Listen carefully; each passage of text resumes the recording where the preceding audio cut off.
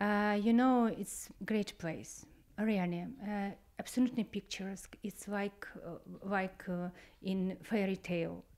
Uh, very good people, very good surroundings. Everybody is very helpful for us. It's great place, but bad occasion. Unfortunately, yes, it's not um, that occasion that I would like to go.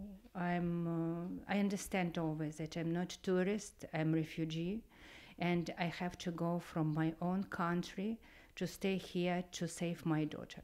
My husband, he is in Kiev now. He's in territory defense. He uh, do his best. Yes, everything that he can do in this uh, situation.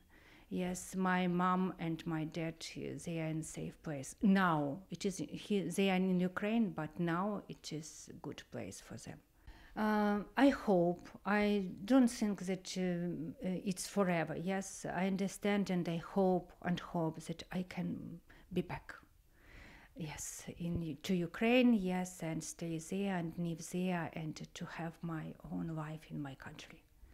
Elles contaven que en un mes ja podrien tornar a casa seva, però els hi arriben molt males notícies. Eh, cada dia els arriben males notícies i estan, això els aclapara molt les aclapara molt i els fan tristir molt i veuen que no hi ha una data de fi i que allà tenen família i tenen els avis, tenen el seu marit, el pare de la nena i això realment la sobrepassa. Els hi deixes espai, saps? A vegades no, tota, no es pot preguntar tot a cop i, i recordar coses, no? Primer esperem que s'adaptin bé, que siguin, es vagin relaxant dia a dia, perquè estan, hi ha molta tensió emocional, no? i llavors, mica mica, jo suposo que iran sortint més coses.